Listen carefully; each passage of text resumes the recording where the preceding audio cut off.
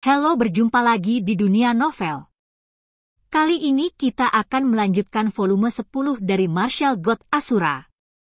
Selamat mendengarkan. Bab 5572, Kartu Ho Jietian.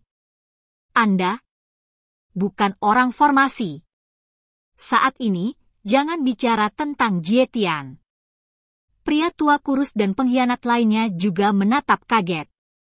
Chu Feng jelas merupakan anggota formasi, mengapa dia tiba-tiba tidak menjadi anggota formasi. Chu Feng tidak berbicara, tetapi kekuatan formasi di tubuhnya dilepaskan. Pada saat itu, bahkan jika mereka tidak mempercayainya, itu tidak akan berhasil. Kekuatan formasi Chu Feng memang berbeda dengan pria formasi. Bagaimana Anda bisa masuk ke dalam sini? Kamu jelas belum melewati pengalaman itu. Pria tua kurus itu menunjuk ke Chu Feng dan bertanya. Orang yang bukan dari dunia Xinghai harus melewati pengalaman jika ingin memasuki tempat ini. Tapi Chu Feng jelas tidak melewatkan pengalaman itu.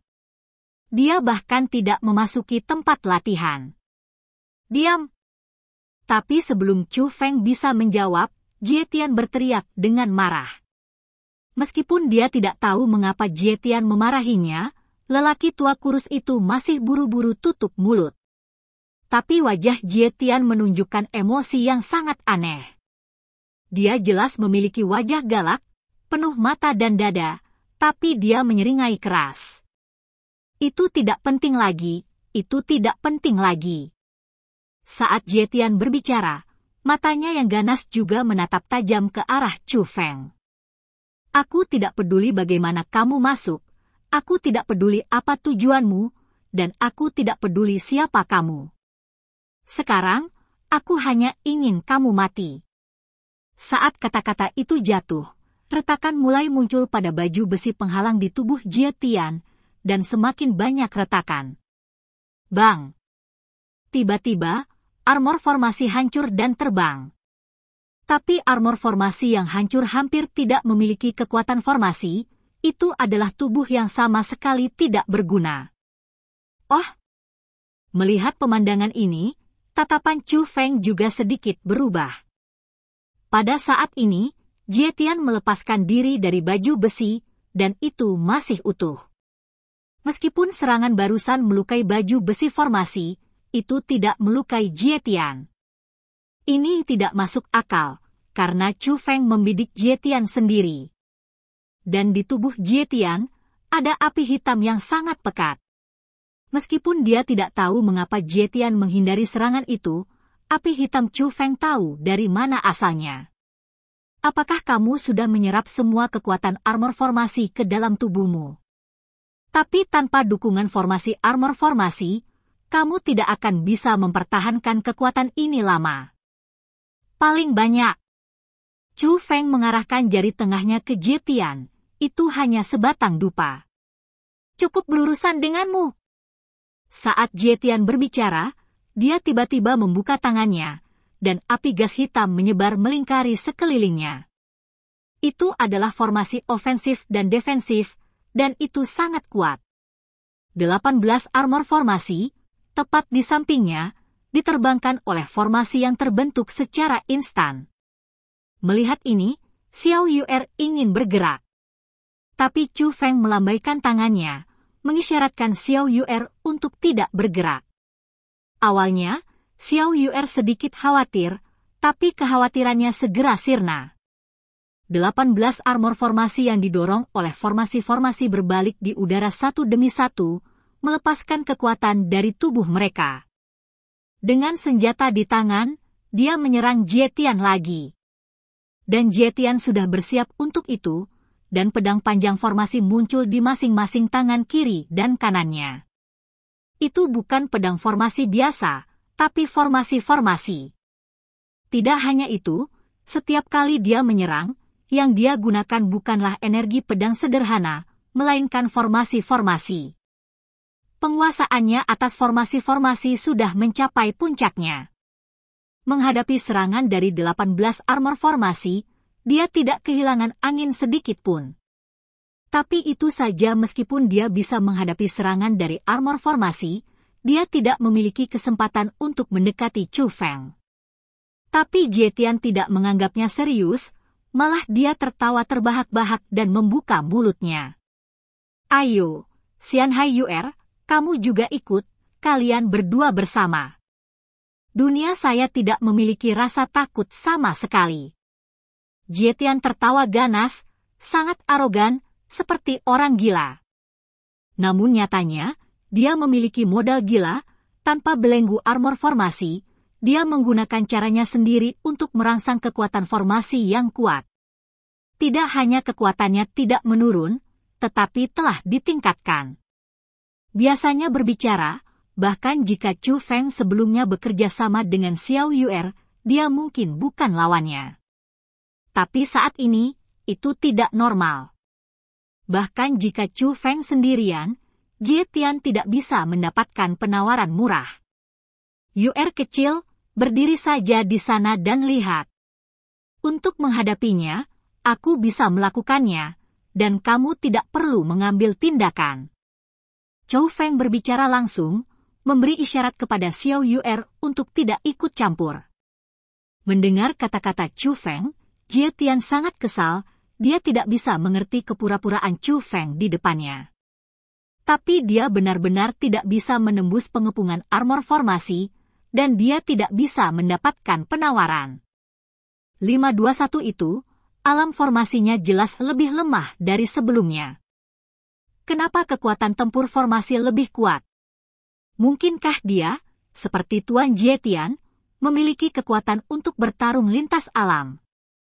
Segera, lelaki tua kurus itu dan yang lainnya menyadari ada yang tidak beres. Chu Feng, yang kehilangan kekuatan formasi, bertarung melawan Jetian lagi.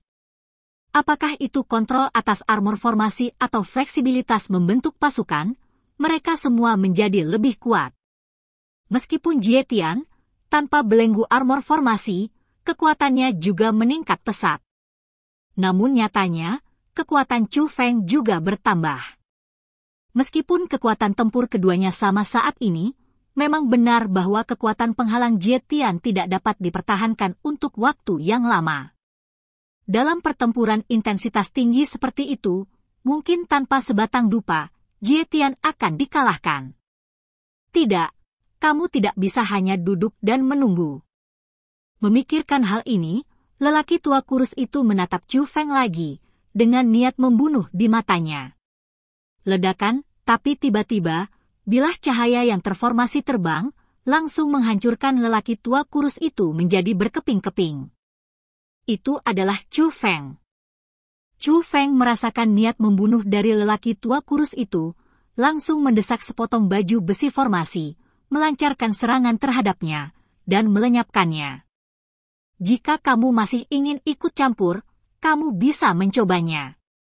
Chu Feng berkata dengan dingin dan melihat lelaki tua kurus yang tubuhnya hancur berkeping-keping, tidak ada yang berani campur tangan, semua pengkhianat berdiri di tempatnya, bahkan tidak berani bergerak. Hahaha. Eh hahaha. Tapi tiba-tiba, Jietian itu tertawa terbahak-bahak lagi. Setelah itu, dia benar-benar berdiri diam, tapi kekuatan armor formasinya jelas belum habis. 521, Aku tidak akan melawan sekarang, jika kamu memiliki kemampuan, datang dan bunuh aku, aku akan melihat apakah kamu bisa melakukannya. Jietian memandang Chu Feng dengan provokatif. Chu Feng tidak berbicara, tapi dia juga tidak terbiasa dengan Jietian formula di tangannya berubah, dan baju besi formasi yang memegang pisau besar menebas ke arah Jietian. Tapi tepat ketika pisau besar hendak jatuh di kepala Jietian, itu berhenti. Bukan karena tombak panjang itu berhenti bergerak, tapi tombak itu tidak bisa menebas sama sekali. Kekuatan tak terlihat memblokir pisau besar itu.